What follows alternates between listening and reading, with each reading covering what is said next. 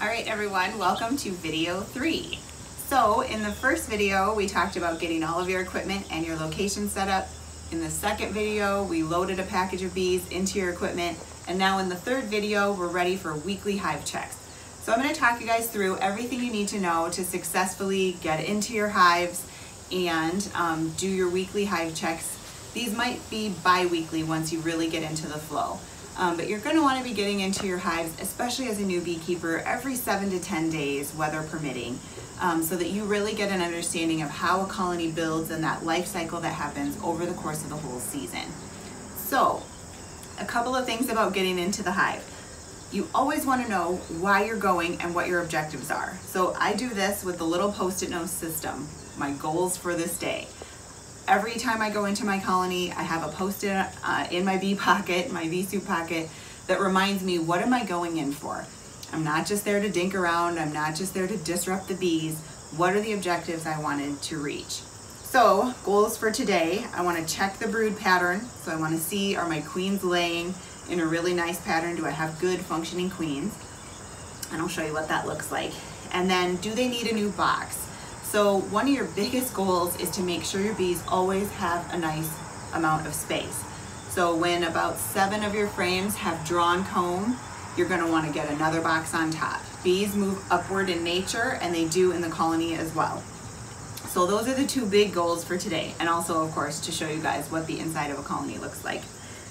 So a couple of things to consider when you're getting ready for your weekly hive checks things you need to focus on are the weather. You want to choose a day that's relatively sunny, relatively warm, because it means all the foragers are out of the hive doing what they're doing. If it's really cold, rainy, or drizzly, or about to rain, you're going to become the main event. All the bees are in the hive, you're the main attraction, they're going to know you're there. If it's a nice, reasonably sunny day, warm weather, they're just going to keep doing what they're doing. Um, so really kind of think about the weather. Bees will fly anytime it's above 45 degrees. Um, under 45 degrees, they may come out of the colony, but their flight muscles will freeze up and they'll have to land and either crawl back in or they just won't make it. So any day that's above 45 is reasonable to be working your hives. So you have your list of objectives, you've got the right kind of weather. You're gonna notice when we go out to our colonies, we're always wearing our bee suits or very light colored clothing and we're always working our colonies from the back side. If you're coming from the front entrance, they're gonna notice you. Anything in dark colors to a honeybee looks like a bear. And any bear that comes to the colony is gonna get attacked very, very vigorously. So make sure you're wearing light colored clothing anytime you're in your apiary um, and that you're always on the back side of your hives when you're working. This also helps the foragers because they're gonna continue to come in with nectar, with pollen, with propolis, water, and they're gonna hand it off at the front door, at that front entrance. If you're in the way, it just causes confusion and really disrupts the hive. If you're on the back side of the colony, then they're just gonna keep doing what they're doing. So you're slowing them down a little bit less, which is good for you and good for them. Um, so in just a minute, we're gonna get suited up and I'm gonna teach you guys how to light a smoker. I said in the first video, I want you to get a really great bee suit, but I want you to act like you're not wearing protection at all. I've seen a lot of people put on full protection and then they're bumping the colony and they're bashing things around and they're not at all afraid. And it's a little bit careless. They're not very careful about watching their bees. So I want you to just put on a great suit so you're not afraid, but then act like you're barehanded and can easily get stung. You're gonna notice it's not gonna be the most exciting YouTube of all time because I have to move really slow. I have to be very cautious I try to give bees time to wiggle around and get out of my way, so I'm crushing as few as possible. Um, some of it happens, it's unavoidable, especially this time of year when there's a lot of bees in the colony. But you're gonna wanna just really tone yourself down, move as gently and as slowly as possible to be as less of a disruption as you can. All right, I also want to talk a little bit about the types of bees you're going to see in the in the hive. It's just a little bit windy up on my site, and so I wanted to do this where it's really easy to hear me or easier. So inside a colony, there's three types of bees. There's the queen, there's only one. Uh, there's the worker bees, which is the females, the girl bees. They're about 90% of the colony. And then there's drones, which are the boy bees. Their job is to mate with queens, so some people kill drones in their colony, but I never do because my colonies have had to make many, many queens over the years.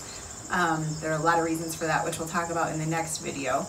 And you need to have a solid population of drones to make queens if you're ever needing one or if your colony ever decides they need to remake or make a queen. So inside the colony, you're gonna see today all of the bees doing a variety of different jobs. And these are based on age, kind of like with your kids, you give them chores based on how old they are. It's the same thing with the honeybee colony. When they're born, the bees are janitors first, so they're in charge of cleaning out the cells, um, cleaning things up, getting the cells ready for the queen to lay in them again. Then they become a nurse bee, and they're in charge of, feeding the larva um, and keeping the whole brood chamber warm and making sure all the babies are sort of fed and incubating properly. Then um, there are a bunch of bees that are in charge of receiving and putting things away. So the foragers come in with nectar, water, whatever they've gathered, they hand them off to the house bees and the house bees tuck it away wherever it belongs. That's about two weeks of a, bee, of a bee's life, those jobs. From there, a bee's body begins making wax. Um, it's like some glands in their abdomen, and you become a builder or construction bee. So you're in charge of making or repairing any of the comb cells that the colony is using, building up the new comb um, as the colony expands, and then capping over the baby bees when they're ready to start molting and pupating, and capping over any nectar that is dried down to honey and is ready to permanently store. So once that's done, you become a front guard, usually. Um, and so you're standing in the entrance, you're watching for predators, um, you might take a few orientation flights to know where the colony is located, and you're in charge of guarding your front guard of the hive. Then, from there, you become a forager, and that's the last stretch of your life. It's only two to three weeks in the summer, longer obviously in the winter when you're not flying, but that's about how long your wings hold out on you. From there, there are scout foragers, who just go and find sources and come back to communicate to the colony about where the good flowers are, uh, the good nectar flow is. And then there's the actual foragers who get, you either get pollen, you get nectar, or you get water. Sometimes they say you might get both pollen and nectar, but usually it's just one. You're sort of semi-specialized as a bee. Within the colony, a couple other worker jobs. There's like the mortuary bees who are in charge of finding dead bees or grass or debris that comes into the hive and taking them out. And then there's this ring of bees around the queen that's called her attendants. Um, those are younger bees. They're in charge of feeding the queen, moving her to the right location to lay eggs, grooming her, and just generally taking care of the queen. So I'm not sure how many of those functions we'll get to see today, um, but that's kind of the progression from being a very lower level house bee to an engineer bee who can produce wax to the front guard and forager bee. That's sort of the life cycle of a bee. So in a minute, I'm gonna take you up, we're gonna get a smoker lit, and I'm gonna show you how to do hive inspection. Okay, the first step to doing your weekly hive checks is to light a smoker. It's considered best practice and a humane way to take care of bees to use a smoker every single time you go in your hives, even if it's something very minor. Um, every time you do a hive check after you load your bees into the colony. So you remember we use sugar water spray when we loaded our bees or put the bees in for the first time. Every other time that we go into our hives, we use smoke. In nature, honeybees only encounter smoke during a forest fire situation. And what it does is they have this response that they may need to vacate their home soon.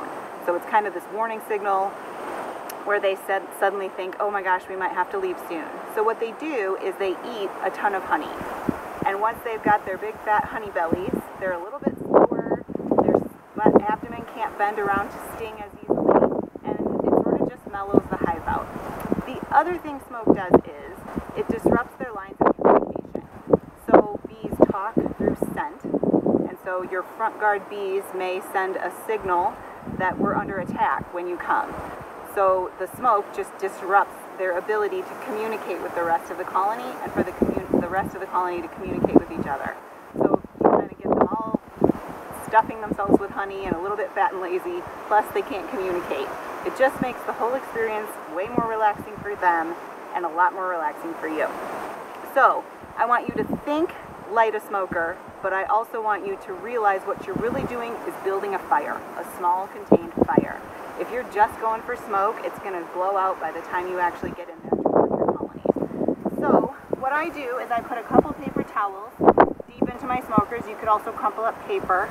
And then I put some very fine pine shavings. I just keep a big bale of uh, pine shavings in my bee shed. I grab a handful and then on my way up, I usually find some small sticks, little pieces of wood. You can also use a few of your bigger, if you have wood chips in your landscaping. So you want a couple pieces of big stuff, but mostly the pine shavings and some little things.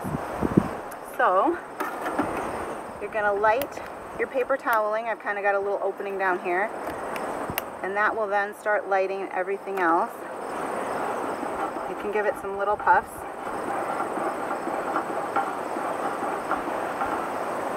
And I give this a minute to get going. You don't want to see too much smoke at this point. What I'm waiting to see is flames coming up and out the top. So again, think build a fire. It's not smoke you're looking for at this point, it's fire. Once you have it really going and lit, then you know you're ready to go in. I tend to use this time to get my gloves on. Some people go over the top of their sleeves with gloves. I tend to go under. It's just a personal preference.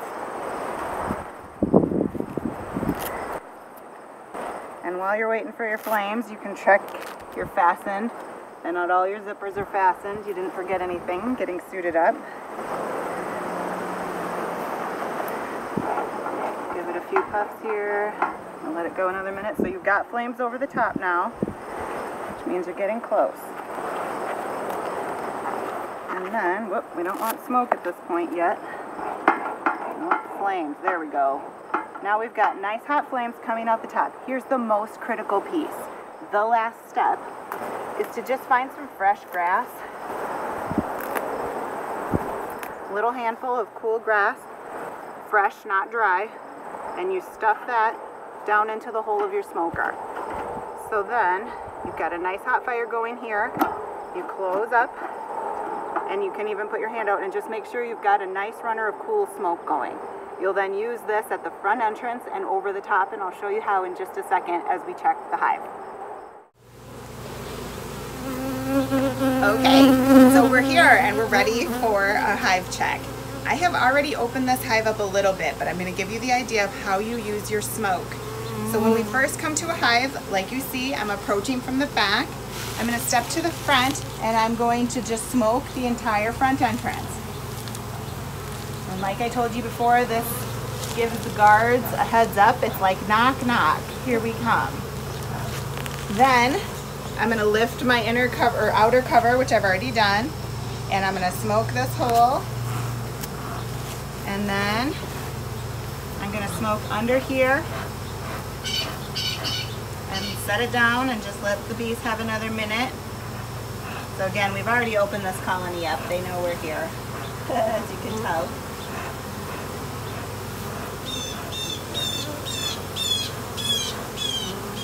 Give them another minute for the smoke to kind of drift down through the boxes.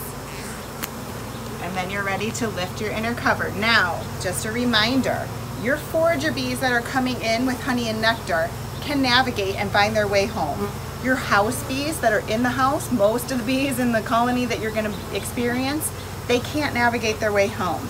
So when you pop things off, and you can see where I've already done this, there's bees crawling on the outside, you're gonna wanna lean things against the side of their own house so that any bees that come out can scent their way to the front door and climb back inside.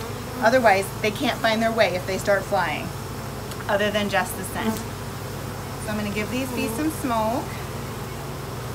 And you can see how they're eating up this honey. Like I told you, the smoke makes them eat.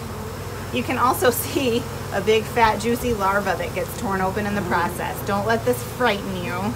Sometimes they lay eggs and rear some brood in between the frames and you may accidentally tear a little bit open. It's unfortunate, but kind of a normal part of the process. So I'm just smoking them out of my way gently, trying to get them to move a little bit.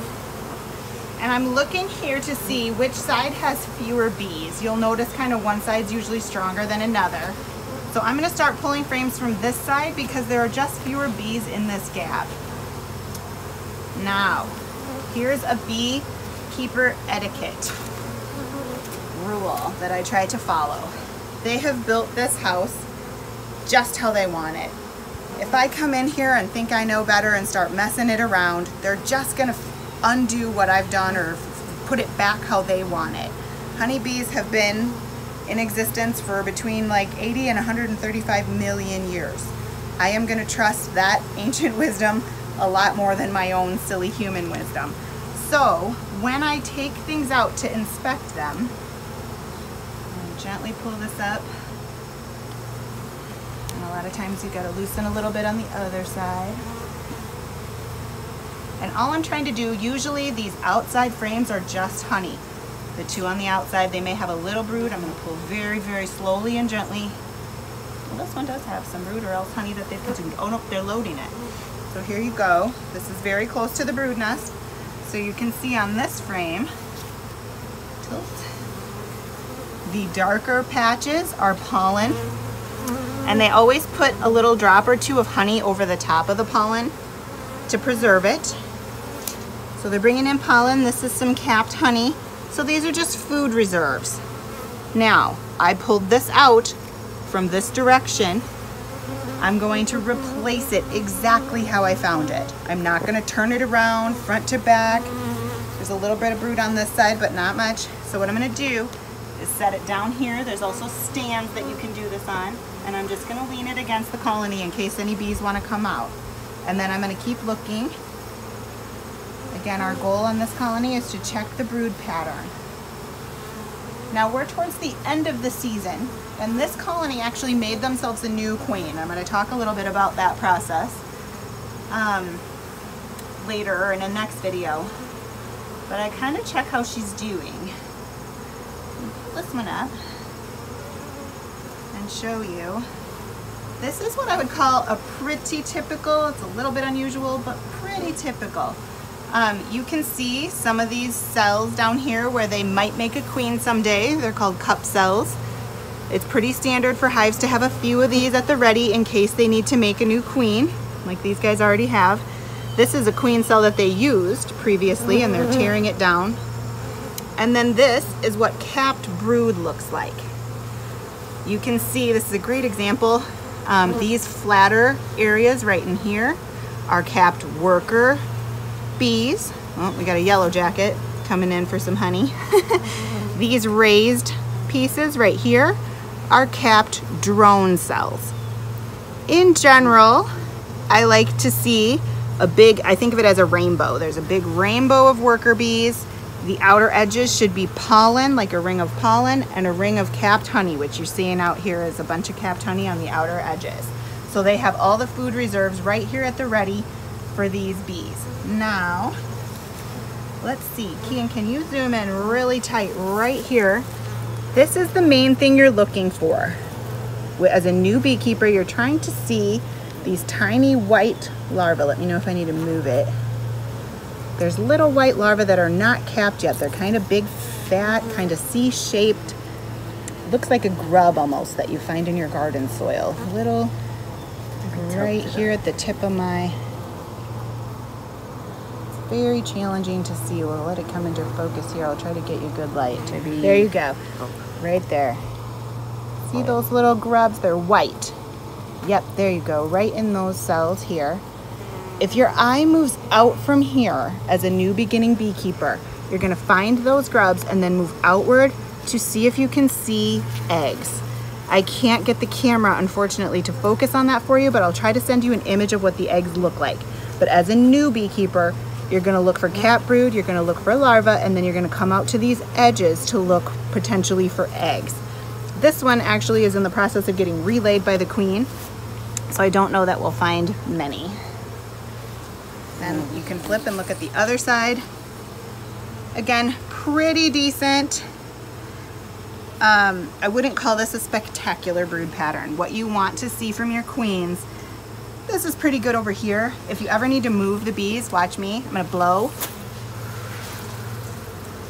and they gently scuttle aside so you can see what's going on. Again, this is what I would expect. A solid brood pattern. Almost every cell is laid. They use a couple cells for extra honey and a couple of cells for like air conditioning and heating and cooling functions. So it's okay to see a few little bits. But in general, I would want to see this just a little bit more filled in, but I think they're getting there as I can see the um, larvae and eggs are laid all the way out to here. When you're looking for eggs too, one tip is to try to get the sunshine over your shoulder. So you can kind of bring it out like here. You want to be cautious. The queen could be on this frame, right? And your goal is never crush the queen. I don't see her. There's not a lot of open laying happening here. But if you get the sun over your shoulder, you should be able to look down and see the eggs or the progression from eggs on the outer edge to slightly older larva to bigger larva to capped larva. So give you just a second, see if you can see that with the light. Again, this is part of the reason why I say having mentorship is so helpful. We've got a yellow jacket who likes to be involved here.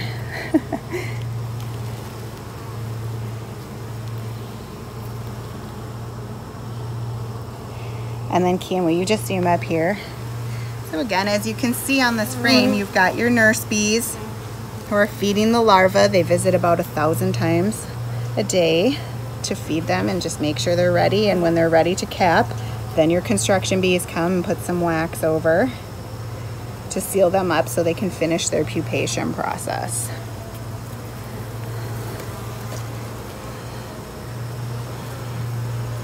And now again, I'm putting it right back in the way I found it. You'll want to find a habit. My left hand is always to the front. My right hand is always to the back. I do it the same way each time. So I always know exactly how I want to put it back. I'm going to show you just one more frame because it's kind of fun. so you'll notice I put one frame on the ground to make enough room. Oh, here's a fun bee right here. She's got her pollen packet filled. Oh, she's coming up right here. See her right down there? Oh, she'll come up again. So you can see they've got pollen and they're packing it in. Her leg full with the pollen packet right there. Yellow jacket.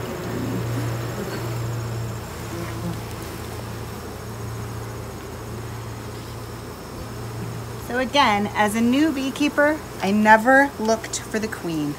I don't want to see her because it means I might increase my odds of crushing or killing her. Now this is a pretty good brood pattern that I would mm-hmm. consider really successful. She's laid this entire thing full. The drones are to the outside. We've got a nice band of honey and pollen right around where they need to feed the bees. So this I would consider pretty solid type brood pattern, a queen that's really well mated and is laying really well. What you don't want to see is like some worker brood over here, some drone brood over here, nothing or craziness in the center, and then another pocket on a different frame, another pocket of brood on another frame. You want to see them pushed together and very tight like this, and that they have the food reserves they need to feed these bees and incubate them so they grow up to be healthy and strong. And it's really normal to see your drone brood out on the edges also.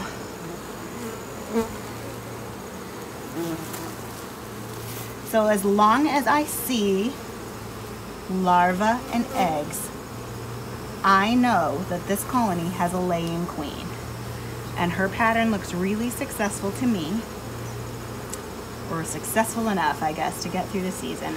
A mated queen that's been made by this colony is going to be a little bit less than the brand new or a little less successful of a layer than the brand new ones sometimes that you get from the company.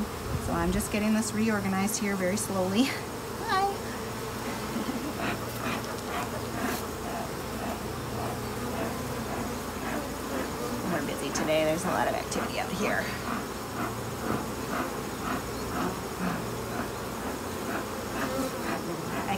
tell from opening some honey.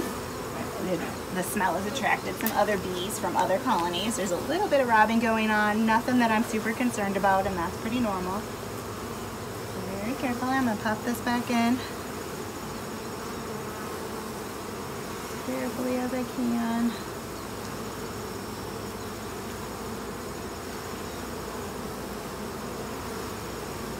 And then one really important thing that I like to look at have you kind of shoot down on this can. I always want to make sure I've got this space right here between the edge of the brood box and the first frame and this space, they're gonna fill it with wax, of course, on this side where I haven't separated it, are roughly even. So you really don't want those frames, look at them attack this yellow jacket. And she's gone, successful. Um, you wanna just snug them to the center. You don't want a lot of space in between or they're gonna bridge comb and stick the frames together and it's just kind of messy and not as effective. So now we're gonna smoke them down again so that we can get the lid on without hurting too many bees. Sometimes people will employ their brush right at this point, but you can see how you use the smoke to move the bees. Mm-hmm. And they'll usually take the queen down when you're first smoking. They'll take her down into the lower boxes to keep her safe. But I wouldn't rely on that. I always want to trust that if I'm holding the frame, it might have the queen on it. Not going to look for her, but I'm going to be very gentle and slow moving with it to try to keep them as safe as I can. All right. Then there will come a point where this is full. All of the frames have drawn comb. They are filled with bees. I've got bees in every seam here. So if you're seeing this on one of your colonies, it's time for a new box, to add a box. Now this colony has already filled a third brood box. It's over here. And that's the point where then you put your queen excluder on. This one's filled with wax. We're towards the end of the season here. Um, this is a special tool that keeps the babies in the bottom and keeps the queen from getting involved in the honey process. So you have just pure honey above. Otherwise, you're gonna have eggs, larvae, those little wormy larvae, and your honey all mixed together, which is yuck. You can't extract that way, or you could, but it's not very attractive, uh, not very tasty, I wouldn't imagine. So when you're ready, then, and they've got three of these medium boxes or two deep boxes filled with brood, you're ready for what people call supering. That's when you put your queen excluder on and then you part, start putting honey boxes on. Most people tend to do two honey boxes at a time because when the flowers come on, they can fill that wax in and start filling with honey. In a week, they can fill two boxes uh, when the flow is really, really on. So your goal is to stay ahead of them so they always have enough room to advance as a colony. Bees tend to move up through the year. So there are some things you do at the end of fall to turn the colony a little bit around so they can continue to move upwards through the winter and have enough food stores. So that's a basic hive check. Our goal was to just check that the queen is present, that she's been remated, they made a new one, and she's got a decent laying pattern to get them through the season, which I'm really happy about. Um, and just to show you guys what a weekly hive check entails. Thanks.